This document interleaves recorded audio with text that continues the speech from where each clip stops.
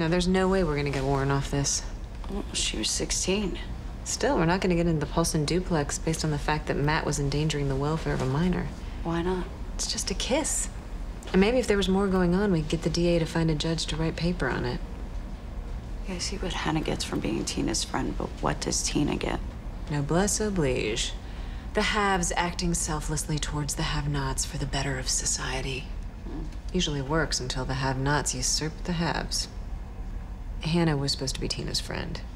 She was never supposed to be part of the family. Do you recognize this? What? See, that's Tina. How about now? No.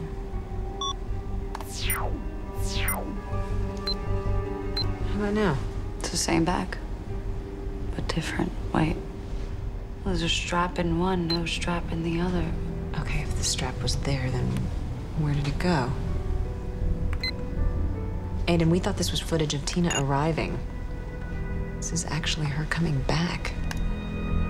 You know, you don't have to answer these questions. Is this going anywhere? Hunting. That's what your father loved. Must have been a big deal for him to take you to England. I've been to Europe. Well, not for a fox hunt. Not with Hannah. She'd never been out of the country. I thought it would be good for her. Yeah, I'm sure it felt good to have a friend there. With all those strangers. First time your father ever took you on a hunt.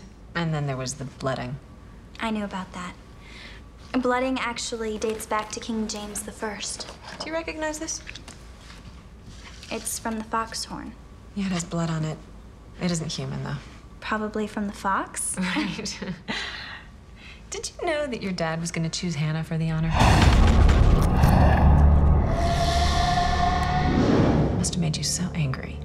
After all those years of waiting to go with your dad, he picks Hannah.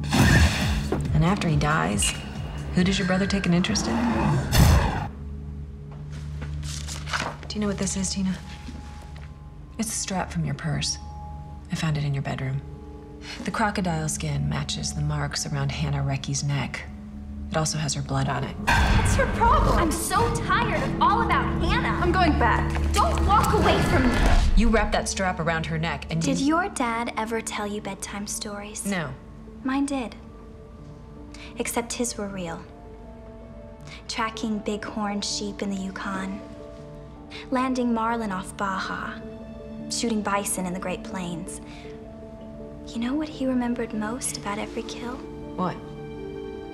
There's no feeling in the world like watching the life drain out of an animal's eyes.